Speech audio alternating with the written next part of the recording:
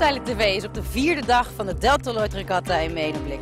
Gisteren hebben we de Nederlandse zeilers weer gevolgd en dat gaan we vandaag ook weer doen. Als eerste de dames in matchracen, het team van René Groeneveld die in de Goldfleet zit. De laserklasse waar Rutger van Schaardenburg op dit moment een elfde positie heeft als beste Nederlander. De Fin-klasse waar Pieter Jan Posma zijn rentree maakt na een korte studiepauze. En de RSX-klasse waar Dorian van Rijsselberg op dit moment een vierde positie heeft. Hierbij het matchracen, het team van René Groeneveld met Annemiek Bes en Brechtje van der Werf. Zij hebben twee van de vijf races gewonnen vandaag.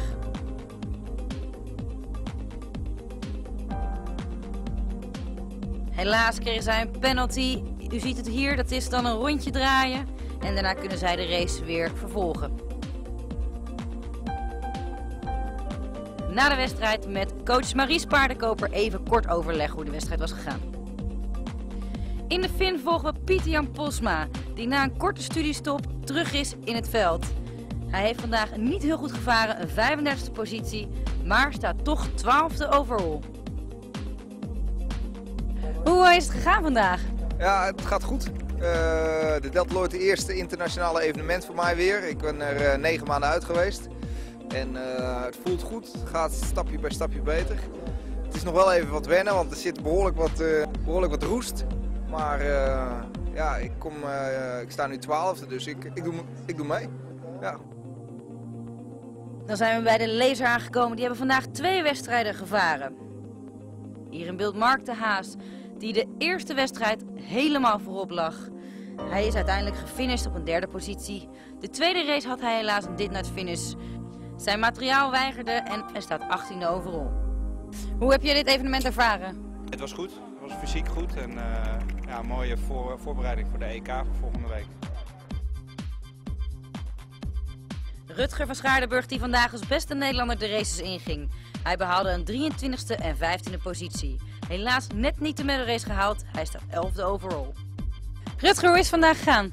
Ja, een beetje tegenvallen. Ik had uh, iets meer van verwacht. Vooral in het begin had ik het erg vermoeid met de eerste kruisrang. Ik kwam ik al slecht boven.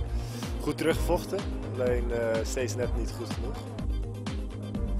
Dorian van Rijsselbergen vertegenwoordigt Nederland in de RX6-klasse voor de mannen. Hij stond vandaag ochtends vierde overall en zoals u hier ziet is het wachten, wachten, wachten, want er waren heel veel windshifts voordat er gevaren kon worden. De eerste wedstrijd lag hij helaas niet zo goed, is hij 28ste geworden.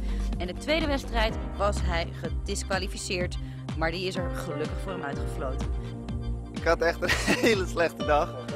Ik had de eerste race echt ja, een hele slechte start en toen uh, niet kunnen doen wat ik wou doen. Dus toen als aller, allerlaatste voor mijn hele leven, eh, sinds mijn hele leven om de, om de bovenboei. Dus dat is even een dikke shock, maar toch nog wel een paar mensen in kunnen inhalen. Hoe heb je afgelopen week ervaren? Ja, dat was wel apart. Dit is een van de weken waarvan ik kan zeggen dat het niet bijzonder goed ging en dat ik niet uh, heel tevreden ben. Maar het ging ook niet heel erg slecht. Ik zat er steeds al redelijk bij en alle fouten die ik maakte, die wist ik waar die, waar die zaten en wat het was. Dus uh, ja, toch wel een goede week qua, qua leren, ervaring. Ja. Morgen zondag kunt u alle medal races volgen via www.deltaloidregatta.tv.